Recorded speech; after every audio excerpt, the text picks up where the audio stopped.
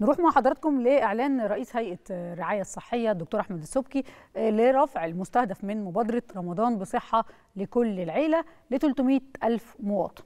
أكد دكتور السبكي نجاح مبادرة رمضان بصحة لكل عيلة إنهم يقدروا يوصلوا ل 40 ألف مواطن خلال 10 أيام من انطلاق المبادرة. خلينا نعرف مع حضراتكم مزيد من التفاصيل عن المبادرة. معانا على الهاتف دكتور نهى الصناديدي مدير عام الإدارة العامة للرعاية الأولية بالهيئة العامة للرعاية الصحية. مساء الخير على حضرتك يا دكتور. ويعني احكي لنا عن العشر أيام اللي فاتوا في المبادرة والوصول ل 40 ألف مواطن وإيه اللي بتقدمه هذه المبادرة للمواطنين وإزاي هيتم العمل لرفع العدد ده ل 300 ألف زي ما صرح الدكتور أحمد السبكي. مساء الخير على حضرتك. أهلا وسهلا أستاذة هدية. الحقيقة الحقيقة العشر أيام اللي فاتوا من رمضان المبادرة حققت نجاح كبير.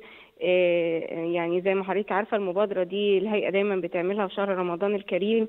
بنستهدف بيها الفئات الأولى بالرعاية من أهالينا من مرضى السكر والضغط. اللي هم من غير القادرين على التوجه لمنشآت الرعاية الأولية أو المنشآت الصحية علشان يعني ظروفهم الصحية الخاصة أو كونهم من كبار السن أو ذوي الهمم أو الاحتياجات الخاصة.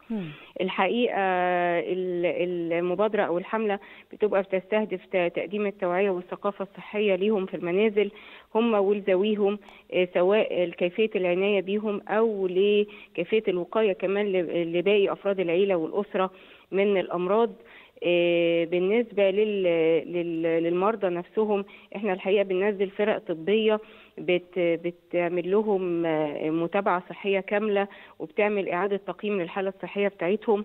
وفي حالة اكتشاف أي حالات حرجة معينة بيتم اتخاذ الإجراءات الصحية الفورية. ممكن تحويلهم من المستشفيات فوريا أو نقلهم أو استدعاء فرق طبية بكفاءة أعلى. أو حتى إجراء phone consultation أو استدعاء أطباء بمستويات معينة في حالة احتياج الحالة يعني.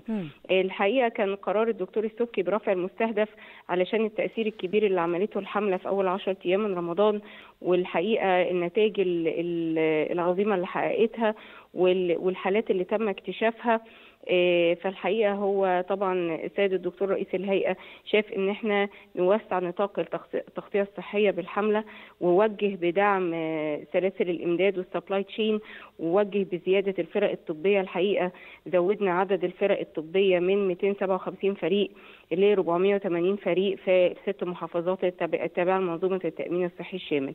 وتم تزويد الفرق بكل المستلزمات والاحتياجات والأجهزة المطلوبة. وابتدينا فعلا العمل أو التنفيذ الفعلي على الأرض لتحقيق المستهدفات إن شاء الله مع نهاية شهر رمضان.